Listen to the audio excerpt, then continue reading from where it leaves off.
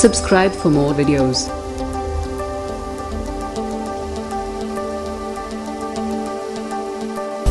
Hello dear friends welcome to Nitin academy उम्मीद करता हूँ आप सब अच्छे होंगे और हार्ड वर्क कर रहे होंगे। तो फ्रेंड्स जैसा कि आपको पता है कि हमने ऑप्टिक्स सीरीज़ जो है वो कंटिन्यू की हुई है। और ऑप्टिक्स के अंदर भी बच्चों, हमने नंबर ऑफ़ टॉपिक जो है ऑलरेडी कवर कर चुके हैं।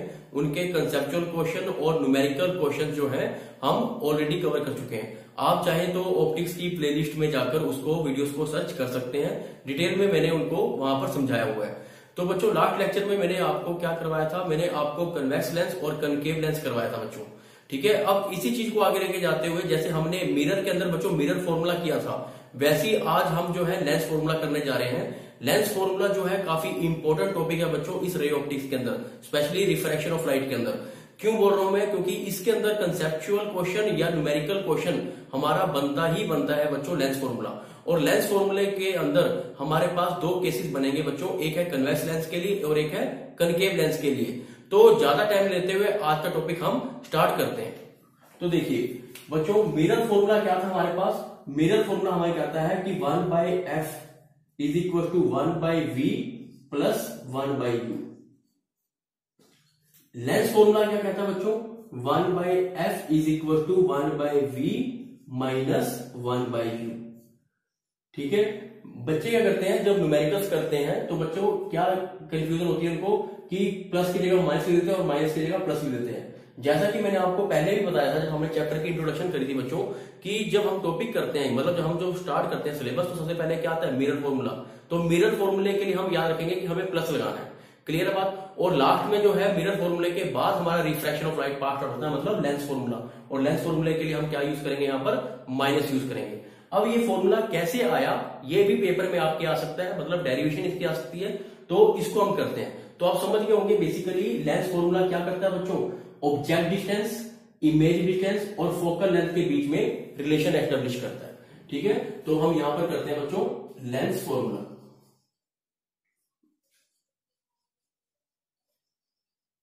तो लेंस फॉर्मूला जो मैं आपको करवाऊँगा, वो दो केसेस के लिए बच्चों।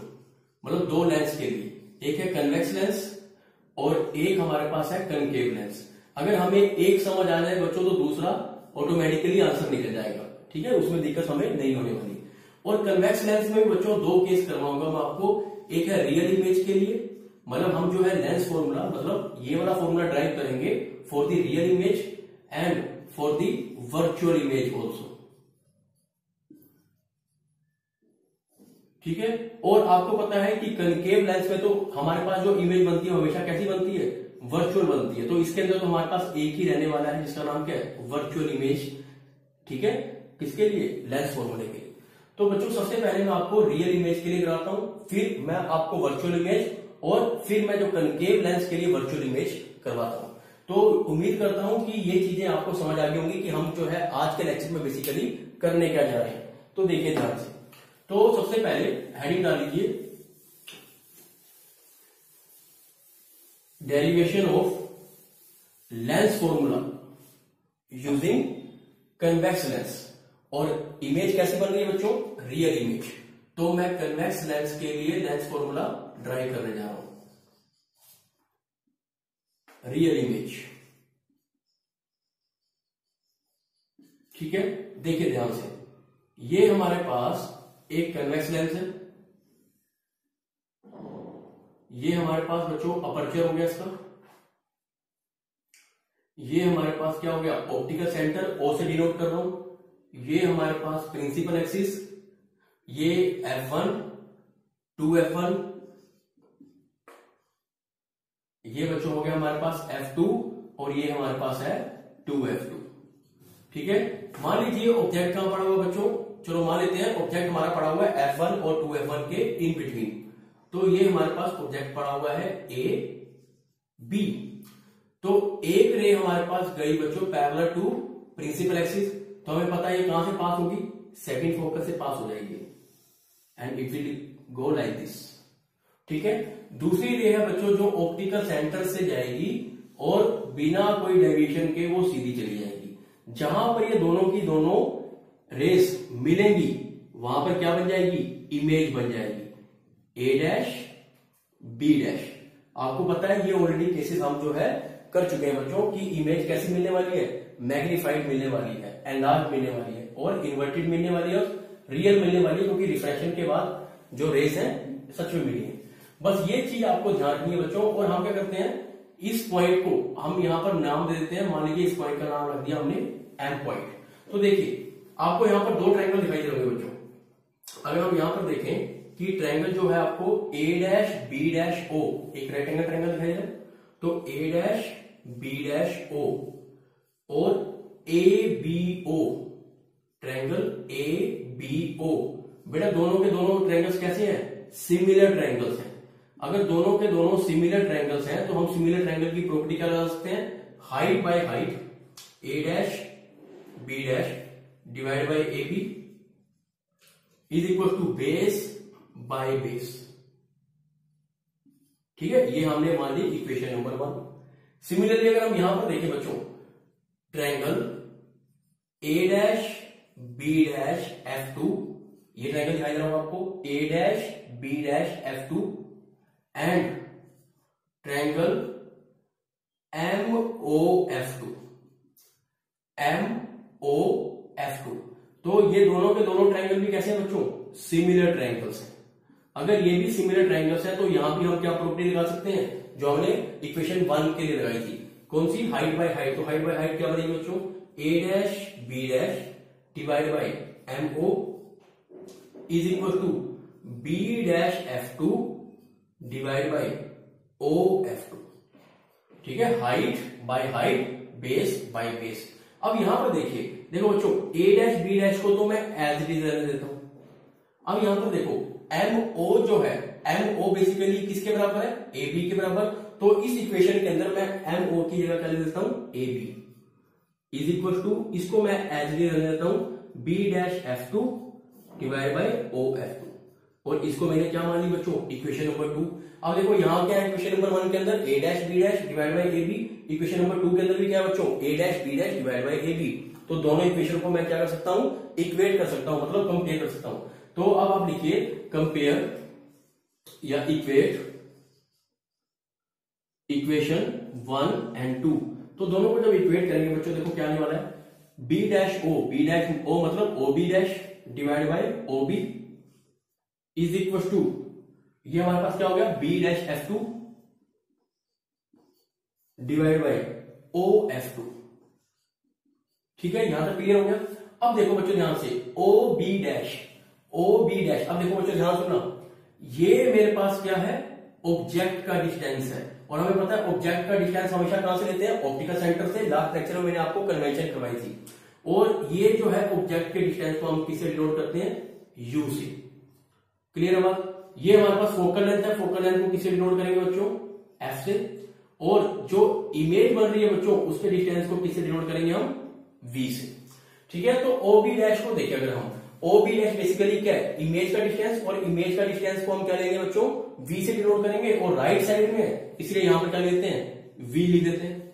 डिवाइड बाय ओबी अब ओबी देखो कहाँ पर है? रहा देखो ओबी ओबी कहाँ पर है बच्चों? क्या लिखेंगे? ऑब्जेक्ट डिस्टेंस को नेगेटिव क्योंकि लेफ़्ट साइड में। तो क्या लिख दिया? Minus U is equal to B dash F two तो बच्चों बी डैश एफ़ टू को देखो ध्यान से। बी डैश एफ़ टू तो देखो बी डैश एफ़ टू का जो डिस्टेंस मुझे पता नहीं। बट जरा सोच कर देखना बच्चों। अगर मैं इस ओ बी डैश में से मतलब इस बड़ी वाली लेंथ में से ये ओ एफ़ टू वाली लेंथ को सेपरेट कर दूँ तो मुझे क्या मिलेगा बी डैश एफ़ टू तो इसका मतलब मैं बी डैश एफ़ टू की जगह कह सकता हूँ बच्चों? O B dash minus O F two divide by O F two तक क्लियर हो गया? ठीक है? अब इसका मतलब O B dash O B dash मेरा किसके बराबर है? वी के बराबर। तो मैंने यहाँ पर लिख दिया वी ये वाला माइनस एच डी उतारा। O F two O F two किसके बराबर है बच्चों? एफ़ और आपको पता है फोकल लेंथ हमेशा कन्वेक्स लेंस की कैसी लेनी है? बाय कन्वेंशन पॉजिटिव लेनी है। ये मैंने आपको लास्ट लेक्चर में बताया था। और ओ एफ़ टू नीचे डिवाइड क्या आ जाएगा? एफ़ आ जाएगा। ठीक है? क्रॉस मल्टीप्लाई करते हैं। तो क्रॉस मल्टीप्लाई करेंगे, आ जाएगा V F is equal to minus V U ये हो गया बच्चों माइनस हो गया प्लस यू एफ़ अगर मैं ये तीनों टर्म्स को, ये टर्म ये टर्म और ये टर्म अगर तीनों टर्म्स को बच्चों में वी यू एफ़ से डिवाइड कर दू, क्या कोई फ़र्क पड़ेगा? नहीं पड़ेगा। बट अगर मैं इस तीनों को वी यू एफ़ से डिवाइड करता हूँ तो मेरे पास इक्वेशन क्या आने वाली है बच्चों? One by F is equal to one by V minus one by U ये टर्म आएगी। देखो वी एफ़ से वी एफ़ क्या हो गया? कैंसिल हो गया। यहाँ पर वी यू से वी यू क्या हो गया बच्चों? कैंसिल हो गया। यहाँ से यूएफ से यूएफ क्या हो गया? कैंसिल हो गया। तो क्या करा मैंने? इस वाले वन माइनस वाले को उधर ले गया तो वन बाई एफ़ और इस वाले को उधर ले गया। तो ये देखो, हमने क्या करा? हमने कन्वेक्स लेंस की हेल्प से लेंस फॉर्मूला ड्राइव कर दिया। मतलब वी यू एफ़ के बीच में रिलेशन एस्टेब्लिश कर दिया। बट कौन से केस के लिए बच्चों? रियल इमेज के लिए।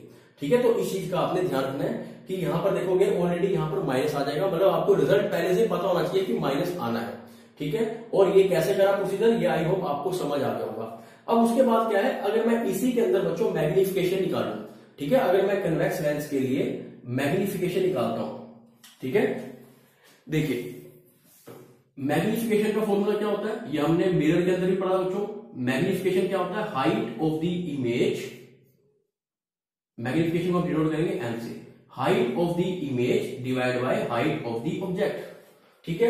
अगर मैं इस इक्वेशन नंबर वन को देखूँ बच्चों इक्वेशन नंबर वन को अगर ध्यान से देखें तो A dash B dash A dash B dash basically क्या है? हाइट ऑफ़ द इमेज और आपको पता है बाई कन्वेंशन प्रिंसिपल एक्सिस से नीचे वाली हाइट को क्या लेना बच्चों? नेगेटिव लेना है। तो इसका मतलब ए डैश बी डैश की जगह कर सकता हूँ मैं। माइनस एच डैश ठीक है? डिवाइड बाई ए बी अब प्रिंसिपल एक्सिस से ऊपर वाली हाइट या साइड को हम क्या लेंगे? पॉजिटिव तो उसको मैं डिनोट कर देता हूँ एक्स से plus H is equal to B dash O B dash O बच्चों बी डैश ओ क्या है हमारे पास? ये देखो ध्यान से, ये इमेज का डिस्टेंस है और राइट साइड में इसलिए क्या लिखेंगे? Plus B divide by BO BO को क्या लिखेंगे? माइनस यू तो देखिए माइनस माइनस को कैंसिल आउट हो गया। तो आपके पास क्या आ गया बच्चों? H dash by H is equal to V by U तो ये हमारा जो है मैग्निफिकेशन का फॉर्मूला बन जाता है फॉर दी कन्वेक्स लेंस या सिंपल बोले फॉर दी लेंस तो मैग्निफिकेशन का फॉर्मूला क्या होता है? H dash by H is equal to V by U जबकि मिरर के अंदर बच्चों, हमने क्या किया था? H dash by H is equal to minus V by U तो ये चीज़ आपको ध्यान रखनी है। तो उम्मीद करता हूँ कि ये चीज़ आपको प्रॉपरली क्लियर होगी होगी। ठीक है बच्चों, अब यही चीज़ जो है कन्वेक्स लेंस से ही हम क्या ड्राइव करेंगे? जो लेंस फॉर्मूला अगेन ड्राइव करते हैं बट अब जो हम ड्राइव करेंगे, बच्चों, किसके लिए करेंगे? वर्चुअल इमेज के लिए। और आपको ये चीज़ पता होना चाहिए कि वर्चुअल इमेज कब बनती है कन्वेक्स लेंस में? जब हमारा ऑब्जेक्ट है, वो फ़र्स्ट फोकस और ऑप्टिकल सेंटर के इन बिटवीन बनेगा। ठीक है? तो चलो, उसको मैं आपको ड्रॉ कर देता हूँ डायग्राम ठीक है? फिर मैं आपको बता देता हूँ कि आपने इसको कैसे करना है और चेक करना सेम रिज़ल्ट आने वाला बच्चों। तो हम जो करने जा रहे हैं अब ड्राइव करने जा रहे हैं। लेंस फॉर्मूला दोबारा करने जा रहे हैं और लेंस फॉर्मूला जो है, बच्चों, वो कन्वेक्स लेंस के लिए ड्राइव कर रहे हैं। बट अब जो हमें ड्राइव करना है, वो किसके लिए करना है? वर्चुअल इमेज के लिए। ठीक है, ये मैं आपको क्यों करवा रहा हूँ बच्चों? क्योंकि पेपर में आपको वर्चुअल इमेज के लिए भी आ सकता है और रियल इमेज के लिए आ सकता है। बट आपको थोड़ा सा फ़र्क आना चाहिए कि इसको करना कैसे है। देखो बच्चों, ये हमारे पास कन्वेक्स लेंस ये हमारे पास अपर्चर है। ठीक है, ये हमने ऑप्टिकल सेंटर ओ से डिनोट किया था पहले, अभी भी कर देते हैं। ये हमारे पास हो गया बच्चों फ़र्स्ट फोकस एफ़ वन ये हमारे पास हो गया सेकंड फोकस ये हमारे पास टू एफ़ वन ये हमारे पास सेकंड फोकस हो गया एफ़ टू और ये बच्चों हमारे पास टू एफ़ टू ठीक है, आपको पता है कि वर्चुअल इमेज कब बनेगी? जब ऑब्जेक्ट का होगा फ़र्स्ट फोकस और ऑप्टिकल सेंटर के इन बिटवीन तो एक रह गई ये पैरेलल टू प्रिंसिपल एक्सिस ये कहाँ से पास होगी बच्चों? F2 से। और एक रे गई यहाँ से and it will go like this तो देखोगे एक रे इधर जा रही है, एक रे जा रही है, दोनों रे कहीं मिलेंगी बट अगर मैं इस रे को पीछे की तरफ़ एक्सटेंड करता हूँ बच्चों तो ये यहाँ मान लीजिए कहीं ना कहीं जाकर मिल रही है। तो जहाँ पर ये मिलेंगी बच्चों, वहाँ पर क्या बन जाएगी? Image A dash B dash और आपको पता है कि ये तो हमारे पास क्या होगा? फोकल लेंथ ये हमारे पास क्या है बच्चों? यू और ये हमारे पास क्या है? सेम वही ट्रायंगल लेंगे जो हमने अभी लिया था, इसका नाम लेते हैं हम एम ठीक है, वही सेम ट्रायंगल लोगे बच्चों कौन कौन से जो हमने अभी प्रीवियस केस में लिए थे। और सेम डेरिवेशन को एज इट इज़ रिपीट करोगे, फिर इक्वेशन वन और टू को कंपेयर करोगे और चेक करना कि ये रिज़ल्ट आ रहा है कि नहीं आ रहा। आप क्या देखोगे कि सेम रिज़ल्ट आने वाला है सेम वही ट्रायंगल्स लेने के सेम वही प्रॉपर्टी अप्लाई करने पे सेम दोनों इक्वेशंस को कंपेयर करने पे। बट मेन आपको डायग्राम बनाना आना चाहिए, ठीक है? और ये जो है इक्वेशन ध्यान रखना कि बच्चों की लेंस फॉर्मूला जो है कन्वेक्स लेंस के लिए एग्जामिनर ने किसके लिए पूछा है? रियल इमेज के लिए या फिर वर्चुअल इमेज के लिए? इसका आपको चीज़ ध्यान रखना है। मैग्निफिकेशन हमारा सेम आएगा H dash by H equal to V by U अब मैं आपको जो करवाने जा रहा हूँ, बच्चों को किसके लिए करवाने जा रहा हूँ? कनकेव लेंस के लिए। तो कनकेव लेंस के लिए जरा देखते हैं कि लेंस फॉर्मूला कैसे ड्राइव करेंगे। ठीक है सेम उसका बेसिकली डायग्राम आपको आना चाहिए। प्रोसीजर बच्चों सेम है। तो यहाँ पर देता हूँ मैं आपके लिए concave lens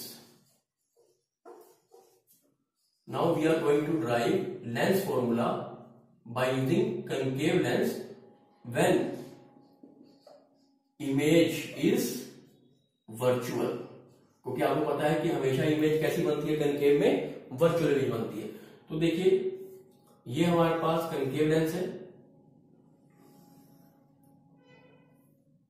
ये बच्चों अपर्चर हो गया। ठीक है, ये हमारे पास ऑप्टिकल सेंटर ये हमारे पास बच्चों फ़र्स्ट फोकस F1 ये हो गया हमारे पास second focus two F one और ये हो गया सेकंड फोकस F2 और ये हो गया बच्चों टू एफ़ टू या फिर ऐसा करते हैं, देखो, हमने जो ट्रायंगल लिया हुआ है, उसके अकॉर्डिंग डायग्राम बनाते हैं। यहाँ पर लिख देता हूँ मैं एफ़ टू यहाँ लिखता हूँ बच्चों टू एफ़ टू ये हो गया हमारे पास एफ़ वन और ये हो गया टू एफ़ वन ठीक है? इससे कोई फ़र्क नहीं पड़ने वाला आपको। ठीक है? अब देखो ध्यान से, हमने यहाँ पर ऑब्जेक्ट रख दिया बच्चों। मान लीजिए ये ऑब्जेक्ट पड़ा हुआ है। ए बी तो एक रह गई पैरल टू प्रिंसिपल एक्सिस। आपको पता है वो कहाँ से करेगी? It will go like this ठीक है? डाइवर्ज हो जाएगी। और दूसरी रे है बच्चों, जो वो यहाँ से जाएगी और सीधी चली जाएगी। तो जहाँ पर ये दोनों की दोनों रे मिलेंगी, वहाँ क्या बनने वाली है? Image A dash B dash और इस पॉइंट का नाम देते हैं एम पॉइंट ठीक है? और यहाँ पर देखोगे, ये तो है बच्चों एफ़ फोकल लेंथ दूसरा है, ये हमारे पास जो है इमेज का डिस्टेंस है तो वी और ये हमारे पास ऑब्जेक्ट का डिस्टेंस है मतलब यू ठीक है, इस चीज़ का आपने ध्यान रखना है। और आप देख सकते हो सेम वही ट्रायंगल लगाने हैं बच्चों, वही दो ट्रायंगल लगाओगे सिमिलर ट्रायंगल प्रॉपर्टी लगाओगे, और सिमिलर ट्रायंगल प्रॉपर्टी लगाने के बाद फिर दोबारा इक्वेशन वन और टू को कंपेयर करोगे। कंपेरिजन करते हुए जब बच्चों, आपने जब कन्वेंशन पुट करनी है मतलब वैल्यू पुट करनी है तो ये चीज़ ध्यान रखनी है कि जो अब फोकल लेंथ की वैल्यू लोगे बच्चों, क्या लोगे आप? नेगेटिव लोगे। क्योंकि मैंने आपको बताया था कि कनकेव लेंस के लिए फोकल लेंथ हम बाई कन्वेंशन क्या लेंगे नेगेटिव लेके चलेंगे। तो देखोगे लास्ट में रिज़ल्ट क्या आने वाला दोबारा? सेम वही आने वाला है। One by F equal to one by V minus one by U ठीक है? ये चीज़ आपको ध्यान रखनी है। तो बच्चों मैग्निफिकेशन का जैसा कि मैंने, और मैग्निफिकेशन भी सेम आने वाला है। H dash by H equal to V by U अब देखिए तो आपको उम्मीद समझ आ गई होगी कि सेम वही ट्रायंगल लगाने हैं, वही दो ट्रायंगल प्रॉपर्टी बनने वाली है। तो इस चीज़ का आपने थोड़ा सा ध्यान रखना है बच्चों। ठीक है? और चेक करना कि आंसर आ रहा है कि नहीं आ रहा। अगर आपको लगता है कि आपसे आंसर नहीं निकल पा रहा मतलब ये जो है इक्वेशन नहीं आ पा रही तो बच्चों मुझे बता देना, मैं ये आपको भी ड्राइव करके बता दूँगा नेक्स्ट लेक्चर के अंदर। अब उसके बाद आपने क्या चीज़ ध्यान रखनी है? हमने मैग्निफिकेशन का एक फॉर्मूला निकाल दिया बच्चों। H dash by H equal to V by U जैसे हमने मिरर के अंदर फॉर्मूला निकाला था बच्चों, कि मैग्निफिकेशन का फॉर्मूला निकाला था in terms of U and F and in terms of V and F तो वैसे ही मैं यहाँ पर करवाने जा रहा हूँ आपको कि फॉर्मूला मतलब मैग्निफिकेशन का हम फॉर्मूला निकालने जा रहे हैं ठीक है? कि, किस टर्म्स में बच्चों? U एंड f की टर्म्स में in terms of u and f. तो देखो ध्यान से हमने अभी जो है लेंस फॉर्मूला अप्लाई निकाला है तो one by F equal to one by V minus one by U अगर बच्चों में दोनों तरफ़ u से मल्टीप्लाई कर दो तो क्या आएगा? U by F U by V by one और अगर मैं यहाँ से निकालू तो u by V is equal to क्या आ गया बच्चों?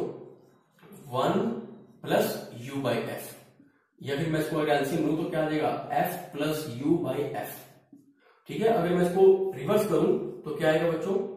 v by U is equal to F upon F plus U और हमें पता है कि v बाई यू बेसिकली किसके इक्वल है?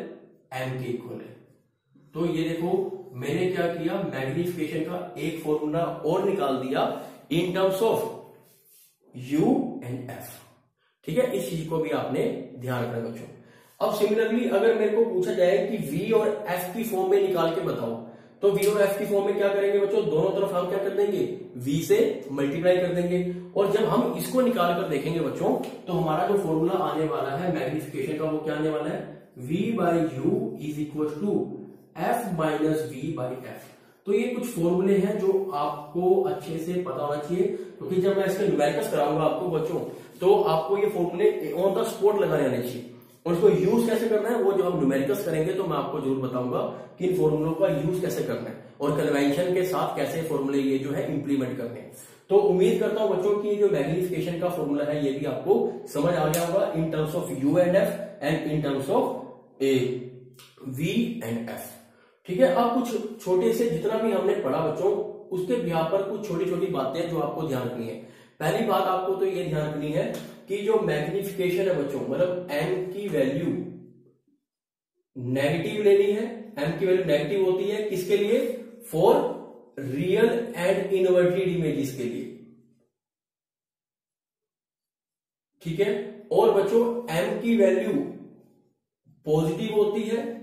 For virtual and erect images के लिए। ठीक है? ये दोनों की दोनों चीज़ें जो है आपको ध्यान रखनी है बच्चों। और बच्चों क्या ध्यान रखना आपको? और ये भी ध्यान रखना है कि अगर एम ग्रेटर देन वन है तो इसका मतलब जो इमेज की हाइट बन रही होगी मतलब जो इमेज मिल रहा होगा हमें, वो ग्रेटर मिल रहा होगा किसकी हाइट से बच्चों? ऑब्जेक्ट की हाइट से। ठीक है? और अगर हमारे पास मैग्निफिकेशन जो है बच्चों लेस देन वन है तो इसका मतलब जो इमेज की हाइट हमें मिल रही होगी, वो कैसे मिल रही होगी? ऑब्जेक्ट की हाइट से कम मिल रही होगी। और लास्ट पॉइंट आपको क्या रखना है कि अगर मैग्निफिकेशन की वैल्यू बच्चों वन आ रही है, या फिर वन गिवन है तो इसका मतलब कि जो इमेज की हाइट है बच्चों, वो ऑब्जेक्ट की हाइट की कैसी होगी? बराबर होगी। तो उम्मीद करता हूँ कि आज का लेक्चर भी आपको समझ आ गया होगा बच्चों। अब जो मेरा नेक्स्ट लेक्चर है बच्चों, वो आपने बिल्कुल मिस नहीं करना, क्योंकि वो जो नेक्स्ट लेक्चर है बच्चों, वो बेसिकली क्या है कॉम्बिनेशन ऑफ़ लेंसेज ठीक है, हम लेंस को कंबाइन करके हम क्या करेंगे? क्वेश्चन करेंगे। लेंस और मिरर को कंबाइन करके क्या करेंगे बच्चों? क्वेश्चन करेंगे। तो जो अगला लेक्चर है बच्चों, वो बहुत इंपॉर्टेंट लेक्चर है बट वो लेक्चर आपको तभी समझ आएगा कि ये जब सब चीज़ें आपके दिमाग के अंदर बैठ गई होंगी।